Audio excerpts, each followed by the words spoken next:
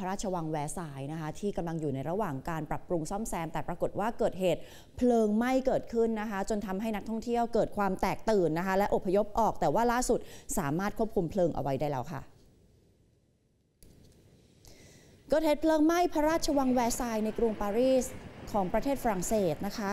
เหตุการณ์เกิดขึ้นเมื่อวานนี้ หรือวันอังคารตามเวลาท้องถิ่น จนเป็นเหตุทำให้ต้องมีการอพยพนักท่องเที่ยวออกจากพื้นที่ ก่อนที่เจ้าหน้าที่จะสามารถควบคุมเพลิงเอาไว้ได้ค่ะโฆษกของพระราชวังดังกล่าวนี้กล่าวว่า ไฟปะทุขึ้นที่บริเวณหลังคาที่กำลังมีงานปรับปรุงซ่อมแซม แต่ว่าเพลิงสงบเป็นที่เรียบร้อย โดยไม่มีผู้ใดได้รับบาดเจ็บหรือเสียชีวิตค่ะ แต่ว่าช่วงเวลาที่เกิดเหตุนักท่องเที่ยวก็ค่อนข้างที่จะตกใจ หลังจากทราบข่าวเพลิงไหม้ในช่วงแรกสำหรับพระราชวังแวร์ซายสร้างขึ้นในศตวรรษที่ 17 ค่ะ เพื่อพระเจ้าหลุยส์ที่ 14 หรือหลุยส์มหาราช เป็นที่ประทับหลักของราชวงศ์ฝรั่งเศส ซึ่งในแต่ละปีจะมีนักท่องเที่ยวกว่า 7 ล้านคนเดินทางมาเยี่ยมชมพระราชวังแวร์ซายแห่งนี้ โดยในช่วงปลายฤดูร้อนที่จะถึงนี้ พระราชวังแวร์ซายจะเป็นสถานที่จัดการแข่งขันขี่ม้า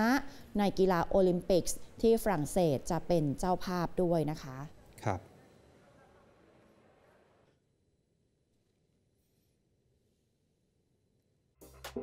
ขอบพระคุณที่ติดตามรับชม TN News ข่าวเช้านะคะ คุณผู้ชมอย่าลืมติดตามกด subscribe กดกระดิ่ง กดไลค์ กดแชร์ทุกช่องทางออนไลน์ของ TNN ช่อง 16 เพื่อไม่พลาดการติดตามรับชมรายการสดและคลิปวิดีโออื่น ๆ ที่น่าสนใจอีกมากมายค่ะ